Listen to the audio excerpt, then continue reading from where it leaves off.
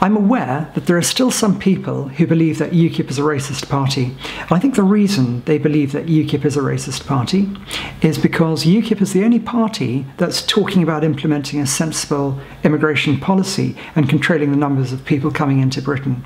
Now, of course, our reason for doing that is that we believe that it's in the interests of the British people, those who are trying to earn a living, and get a decent job to address this massive imbalance in demand and supply in the labour market.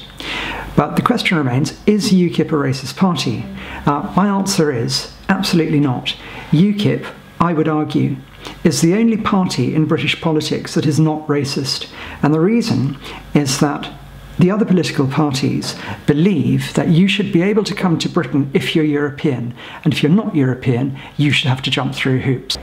Conversely, UKIP is the only political party in Britain that believes that people should be allowed to come and settle and work here purely on the basis of merit and with absolutely no regard to the country they've come from or the colour of their skin.